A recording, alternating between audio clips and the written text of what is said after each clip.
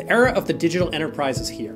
Lines of business are racing to produce new applications and services to grow existing revenue and open up new streams of income. To support this, they increasingly require that IT become more agile and efficient provider. Historically, IT has been organized into many different technology silos. Unfortunately, this approach has often resulted in poor service quality due to finger pointing, war rooms, and slow problem resolution. The silo approach has also resulted in a proliferation of management tools. This has resulted in gaps in coverage, no single consolidated view, and no obvious starting place when something breaks.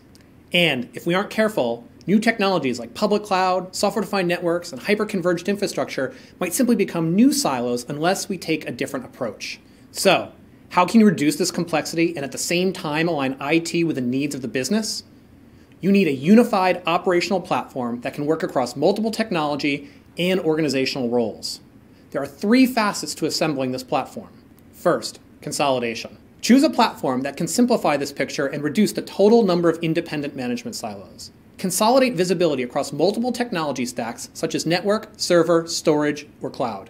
This will help expose the interdependencies between these technologies. Use a platform that can fill in visibility gaps and provide views into upcoming technology like software defined networks.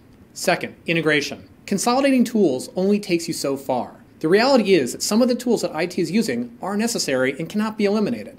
Use a single platform to bring these products under a unified umbrella. Share data, events, and configuration with a central platform. Provide a single starting point for operations to gain high level visibility while maintaining the ability for subject matter experts to conduct their deep dive analysis. Third, automation. Integrate the remaining tools by automating common workflows. For example, you can achieve huge efficiencies by integrating your monitoring tools with your service desk. Many modern tools expose data and services through APIs.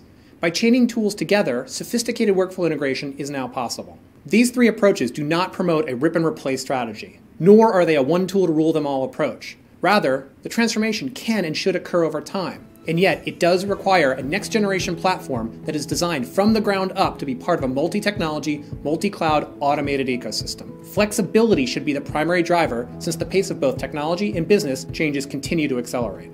To see how we can help, visit our website at www.sciencelogic.com.